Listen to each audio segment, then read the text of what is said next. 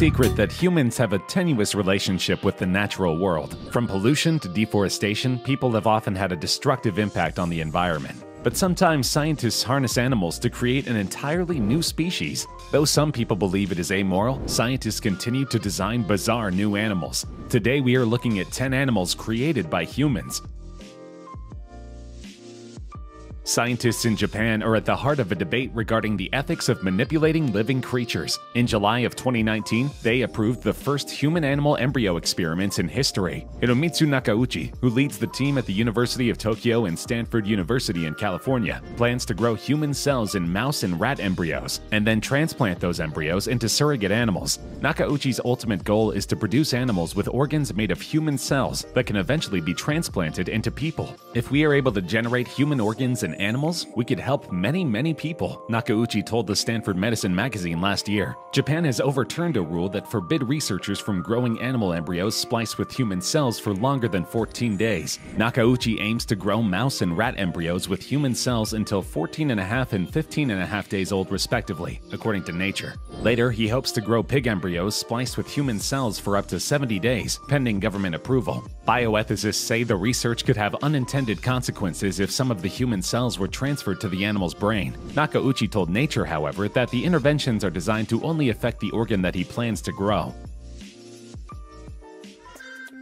This animal truly tests the limits of what is possible in genetic science. South Korean scientists say they have engineered four beagles that glow red using cloning techniques that could help develop cures for human diseases. The four dogs, all named Ruppy, a combination of ruby and puppy, look like typical beagles by daylight, but they glow red under ultraviolet light, and the dog's nails and abdomens, which have thin skins, look red even to the naked eye. For the designer bioluminescent buffs out there, red is not the only color for which to choose. The first isolated glowing protein was a green color from the jellyfish Aequorea victoria, since then, scientists have experimented with replacing different molecules within the protein structure, allowing for the creation of a number of different colored photoluminescent proteins, ranging through the visible spectrum, including blue, yellow, cyan, orange, and of course red. It took nearly 2,000 eggs to make some 1,000 embryos, all of which produced only one Snuppy. But however inefficient, that technology was groundbreaking and means that in the future, genetically modified animals will be able to glow in whichever color a scientist decides. Again, there is an intense ethical debate raging about this science, but the experiment has been repeated several times. As terrifying as it sounds, Randy Lewis, a professor at Utah State University, spliced spider DNA into the cells of his goats. The first was a goat named Freckles, who looks and acts like any of her goat siblings, except for one noticeable difference. She was genetically modified to produce spider silk in her milk. The silk produced by golden orb weaving spiders is tougher than Kevlar, but has the elasticity and lightness of nylon. That makes the silk a very valuable substance. The trouble is that it's impractical to raise spiders to produce enough for industrial use. It took more than a million spiders and 70 human workers working for four years to make a single 11 foot by 4 foot piece of fabric. That's where the goats come in. Now in their ninth generation, these creatures produce about an ounce of the protein per milking session, yielding several thousand yards of a single spider silk thread. Since then, the technology has been purchased by a Canadian company, and the product is being marketed as BioSteel. They sell numerous products for use in construction. The materials they produce are more than five times stronger than solid steel. Featherless chickens could be the future of mass poultry farming in warmer countries, says an Israeli geneticist who has created a bare-skinned prototype the new chicken would be lower in calories, faster growing, environmentally friendly, and more likely to survive in warmer conditions, claims Avigdor Cahaner of the Hebrew University of Jerusalem. He created his red-skinned chicken by selectively crossing a breed with a naturally bare neck with a regular broiler chicken. Commercial broiler hens were genetically bred to cause them to eat more and gain weight fast, which causes their body's metabolism to operate at higher temperatures than ordinary chickens. Their heart rate can go as fast as 300 beats a minute. This causes them to overheat, especially in warmer climates. Cahaner developed a breed that grows no feathers and have no scales on their legs and feet. After six generations of breeding, he was able to create the featherless bantam chicken, and then he crossbred until he got a large-sized version. There are many opponents of the featherless chicken, considering it to be a prime result of bad science, solely created to benefit our consumption needs. It is extremely controversial and has not been widely adopted since its invention in 2002.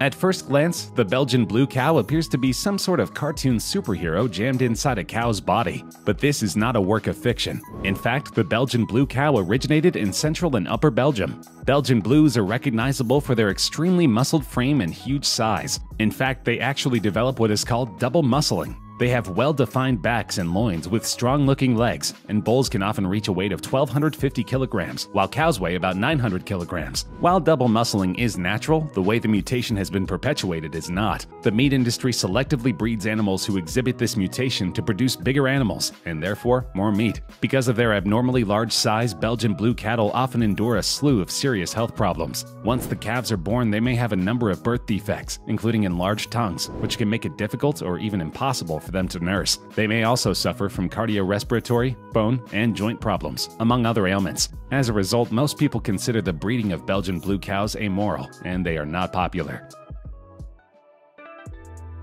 Many tropical frogs are admired for their stunning coloration, but glass frogs go a different route. The skin on their bellies is at least partially transparent, making their internal organs visible from underneath. Now, another frog joins these clear-bellied amphibians, a remarkable little creature from Ecuador, newly created by scientists in 2019. The dark green spots on its back and its call and reproductive behavior mark it out as different from already known frogs. Males guard the eggs, which are attached below a tree's leaves, until they hatch and fall on the below water stream, says Juan Guayasamín of the Universidad San Francisco de Quito in Ecuador. I work with frogs every day, and this is one of the most beautiful species I've ever seen. Not all glass frogs have hearts that are visible through the chest. In some, the heart itself is white, so you don't see the red blood, says Paul Hamilton of U.S. nonprofit organization the Biodiversity Group. Scientists created these frogs as an alternative to dissection, a practice that is increasingly frowned upon in schools. Thus, students can study a living glass frog and view its organs without any sort of cruel operation.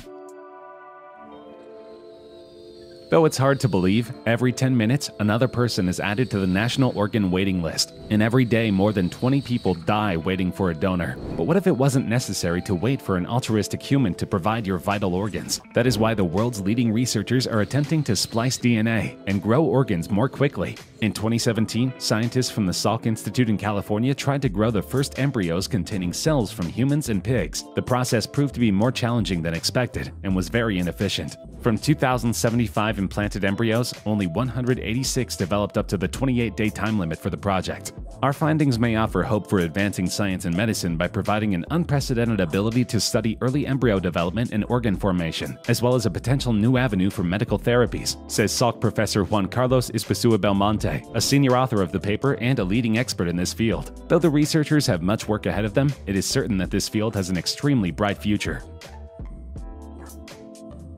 In March 2019, the Food and Drug Administration lifted an import restriction that allowed AquaBounty, a biotech company with facilities in Canada and Panama, to start raising genetically engineered salmon eggs in America, effectively clearing the way for the country's first GMO seafood and first commercially raised GMO animal to come to market. The main difference is that AquaBounty's Aqua Advantage salmon grows faster than conventional salmon and therefore gets to market weight in less time. This is desirable for fish farmers because it means the fish requires less feed, which is one of the main costs in aquaculture. This salmon contains a growth hormone gene from the fast-growing Pacific Chinook salmon and a promoter sequence from the ocean pout. Combined, the gene and promoter sequence, which acts like an on switch, enable the salmon to grow year-round instead of seasonally, like wild or farm salmon. The FDA evaluated the fast-growing salmon and concluded that it was as safe as conventional salmon. The agency determined safety by compositional analysis, basically grinding up genetically engineered salmon and control fish samples and comparing them. In these analyses, the genetically engineered engineered salmon and wild Atlantic salmon were not found to differ. Human breast milk contains valuable antibacterial enzymes that milk from dairy animals did not. Until now, researchers report that transgenic goats can successfully produce milk containing the enzyme lysozyme, and that this milk exhibits an antibacterial effect when fed to young goats and pigs. The researchers hope that in the future, enhanced non-human milk will give an immune boost to children in the developing world where diarrhea takes more than 2 million lives each year. Strange as it seems, these animals are producing human breast milk. This will solve problems where there is a shortage of breast milk in an area, thus feeding otherwise starving children. This should have an impact particularly on E. coli-based gastrointestinal diseases, says Jim Murray, an animal scientist at the University of California, Davis, and an author of the study. The team is now repeating the experiment with pigs that will be infected with harmful bacteria to see if the modified milk enhances their natural immune response. As with all the animals on this list, it is somewhat controversial, but many people accept that this particular case is worth the ethical ambiguity in order to save children's lives. Though it sounds like an animal out of a science fiction novel, the zebroid is a real living thing. A zebroid is the offspring of a cross between a zebra and any other equine, usually a horse or a donkey. Zebras belong to the genus Equus, and as such they can crossbreed with other Equus species. The resulting hybrid is almost always sterile. The three species of zebras have between 44 and 62 chromosomes, donkeys have 62, and horses have 64. Zebroids were originally bred as pack animals in Africa for practical reasons. They are more resistant to certain diseases, such as sleeping sickness, than horses or donkeys. Zebroids for domestic use are bred for the look of a zebra, tempered by the domesticated nature of a horse or donkey. A typical characteristic of zebroids is that their appearance tilts more toward that of an equine rather than the zebra, apart from adopting the stripes. These stripes are generally confined to some parts of the body, such as the legs or neck. Their colors through the legs and belly usually range between tan, brown, and gray with a lighter underside, making the stripes stand out further.